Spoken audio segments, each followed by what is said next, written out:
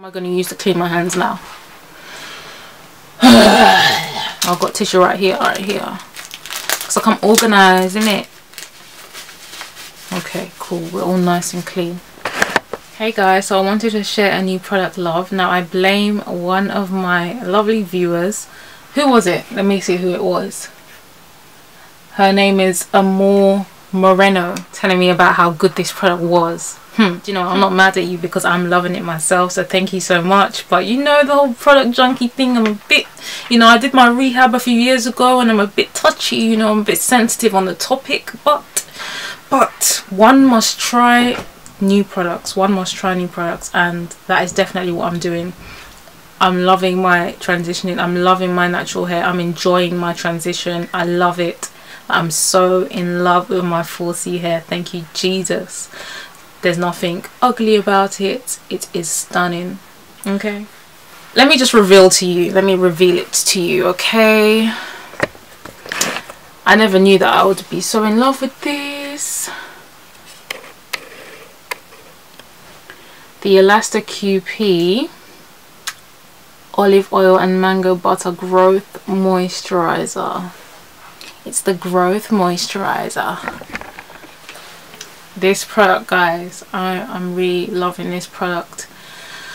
Let me just this is my first impressions. It's not an official review. I'll do an official review like after at least a month or two or three but this has just been like two weeks.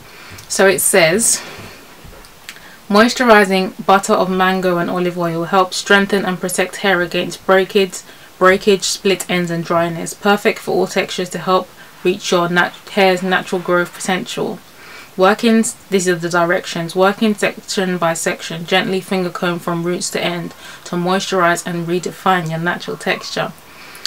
Styling uses, apply a smaller amount to ponytails, braids and afro puffs to hydrate, smooth and control frizz.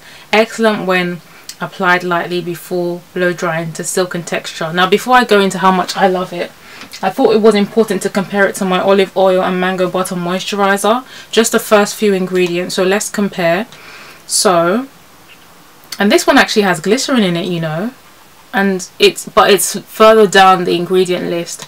So they both have aqua as their first ingredient second one for this one is glycine soya oil slash soybean oil. The second one for this one is olea fruit oil. I think that's olive oil so it's pretty similar having oils for the second ingredient.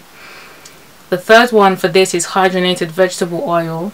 This one is capric caprilipic tricerides. So and then after that for this is glycerin and then after that for this is lanolin lanolin. The ingredients are actually different so it's not the same thing. It smells very similar and let me just show you the consistency actually because I think it's important to compare these products because I was thinking to myself before I bought this that I hope that it's just not like a repackaged version of this one because I really won't be impressed. This is the Elasta QP and Mango Butter Moisturizer the cream. This is the this is not the moisturizer well it is the moisturizer but it is it's not the growth. I'm confused you know this is not the growth moisturizer okay? So it's thicker it's a cream it's more of a cream as you can see guys. So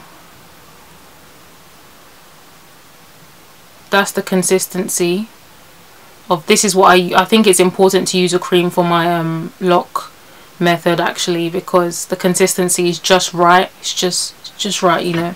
And then this is the moisturizer consistency so it's more of a moisturizing kind of I don't know if you can if you know what I mean but look at the difference. This is a creamier thing and this is more like a moisturizer. So I think I'm using them right in terms of like their properties.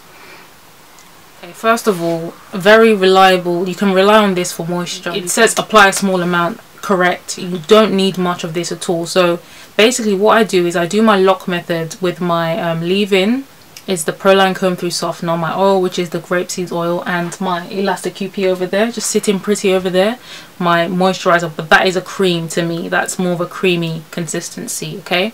And it's good for braid outs too.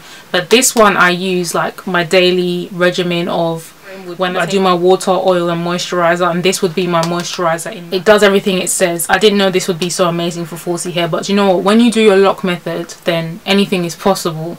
Okay, not anything's possible but when you do your LOC method you don't need much, it doesn't take much to keep your hair to you know preserve that moisture for the week. This i'm really loving it guys and i'll have an official review soon just to give you an overall view of what i think but so far it's really doing it for me. It just feels so nice to have found you like